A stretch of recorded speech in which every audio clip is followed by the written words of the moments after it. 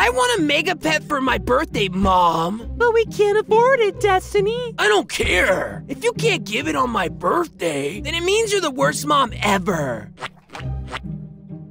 My mother will give me a mega pet on my birthday. Wow, really? That's awesome. My mom gave me this pet on my birthday. Isn't it amazing? Your pet is on welfare and looks like dump. If I were you, I would spit in my mother's food while she wasn't looking. My pet's not awful. Everything that comes from someone you love, whether it's expensive or not, should be cherished close to your heart forever. Besides, my mom sold a kidney to afford this pet for me. That story was cringe and your pet is still trash. Happy birthday, Destiny! I hate you, Mom! That pet is for broke kids! I worked hard for this, Destiny. I did my best. I don't care! I wish you were dead, Mom!